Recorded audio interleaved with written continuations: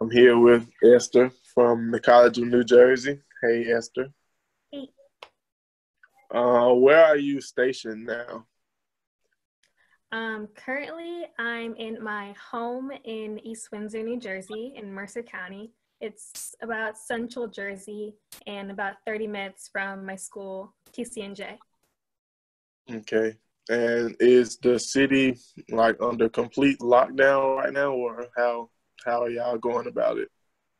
Um.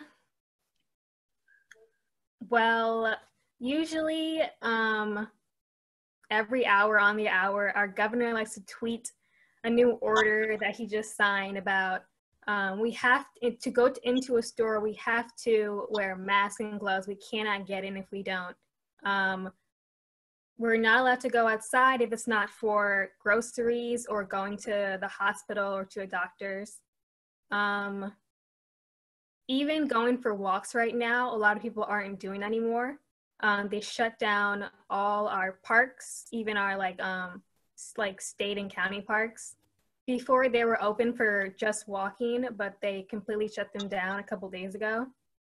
Um, and yeah, everyone's pretty much just staying inside. Even stores, um, grocery stores, um, Aldi, it's by my house. Only about like 10 people are allowed in at a time. You have to wait on a line outside to get in. Um. And my job is shut down. All the non essentials are shut down. Yeah. Yeah yeah, all these. That's why I've been going to, um, to the grocery store too. but it sounds a, lot more strict than uh, where I am in Birmingham, though. A lot more strict. yeah, um, people were having um quarantine parties for some reason, and so people would report them, and then they like got arrested, and you can get a citation, and you have to pay a fee or something. Yeah, people are people are dumb. yeah, no no quarantine parties though. um, so how how is this situation like affected you uh school wise? School wise, it's been not super rough. Um, I have taken some online classes before. Um, we didn't have to do Zoom meetings because they were kind of made to be online, um, just handing in assignments. Um, yeah being online um, constantly throughout the day, I think is just super draining for me. Um, having to sit on Zoom meetings, I just I get headaches at the end of the day from staring at my screen for so long. Um, and honestly, I just feel super unmotivated to do a lot of my assignments. Like completely honest, like being being in bed at home and not having to like take the time to go drive to school and sit in class. It's been a little rough. um, I know at Alabama State, um, they've offered uh, like a chance to apply for a refund on some of the things like um, uh, meal plan and housing.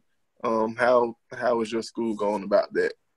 Um, our school, I didn't dorm there. I'm a commuter, but I know that um, if you dormed, you do get um, some type of refund.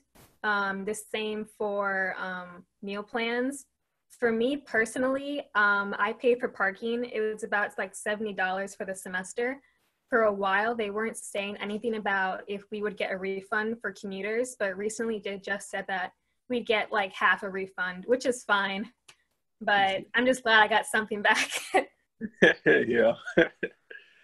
uh, do you know anyone personally that um, has the virus? Um, that currently has the virus. My mother's work friend has it. Um, she lives with someone else who had it, so that's how she got it.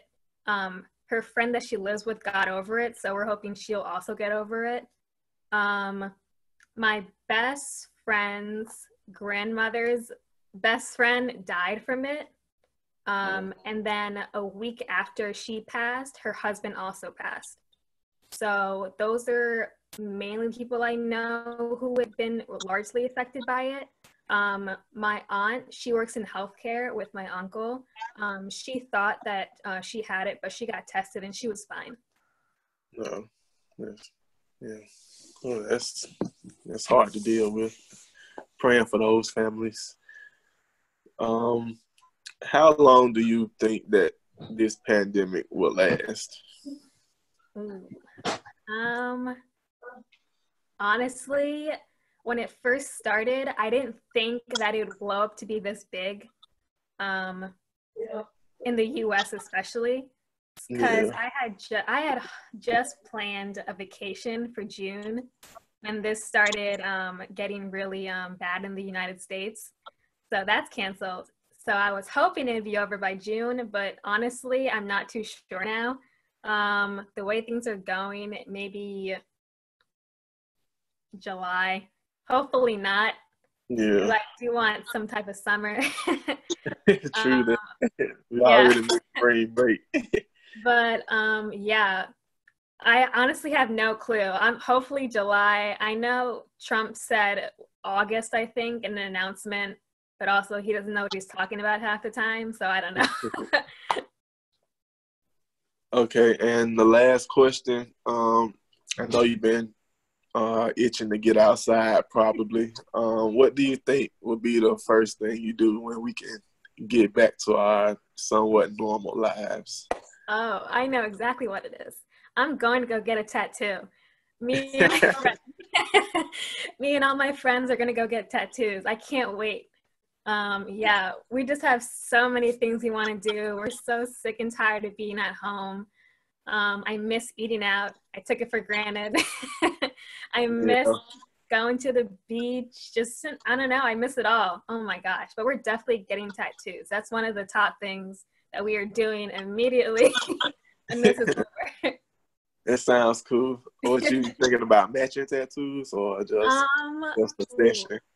I don't know. I was I, I don't want to get anything too big because my my family would freak out.